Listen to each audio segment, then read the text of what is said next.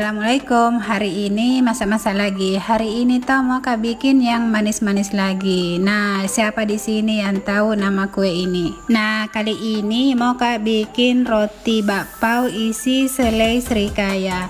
Kalau di kampungku roti bakpao itu dinamakan roti pawa guys. Tidak tahu kalau di kampung tak mungkin beda lagi. Oke langsung saja kita ke bahan dan cara pembuatannya. Nah pertama-tama mau kak dulu blender ini ini daun pandannya guys. Untuk daun pandannya di sini saya pakai sebanyak 4 lembar. Nah ini saya sudah siapkan blender kemudian saya masukkan daun pandan tadi kemudian saya tambahkan juga air secukupnya.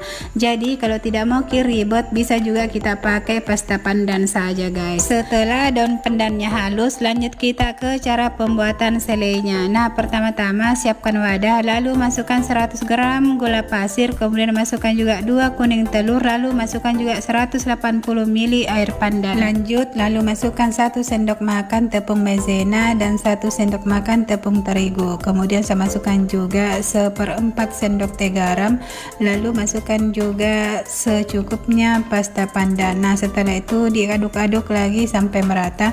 Kemudian masukkan juga 2 saset santan instan. Untuk santan instan yang saya pakai di sini adalah santan instan kara guys. Bisa juga kita pakai santan kelapa yang diperas.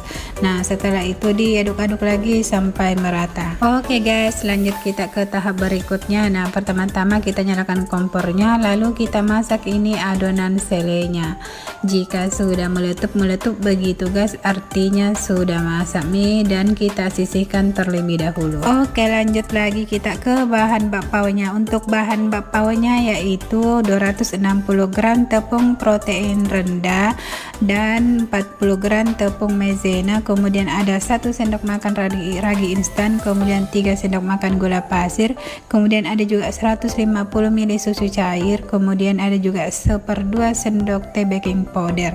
Nah setelah setengah kalis itu kita masukkan 30 gram margarin. Oke guys lanjut lagi. Singkat cerita ini adonannya tuh sudah kalis nih. Lalu lanjut nih saya mau bulat-bulatkan. Ini adonannya saya timbang tadi itu seberat berat 55 gram. Setelah adonannya dibulatkan lalu lanjut kita mau alasi ini adonannya dengan kertas minyak guys. Supaya adonannya nanti itu tuh atau pawaknya itu tidak lengket.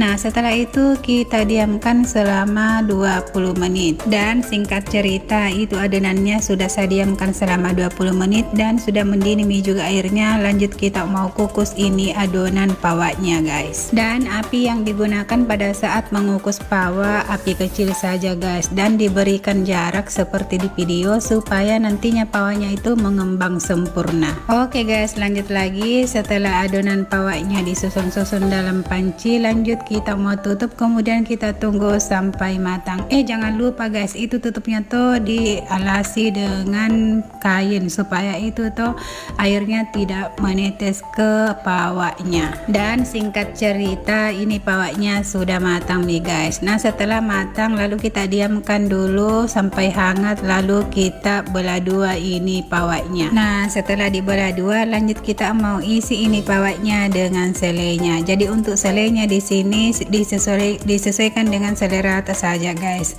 Tapi saranku tuh bikin ki selai yang seperti di video. Pokoknya ini mantap rasanya. Ini selai serikaya guys. Dan buat kalian yang belum pernah bikin pawak bisa dicoba di rumah tak ini resepnya guys. Pokoknya ini merasa dijamin anti gagal juga. Pokoknya kita lihat saja hasilnya. Itu tuh pawaknya gendut-gendut guys.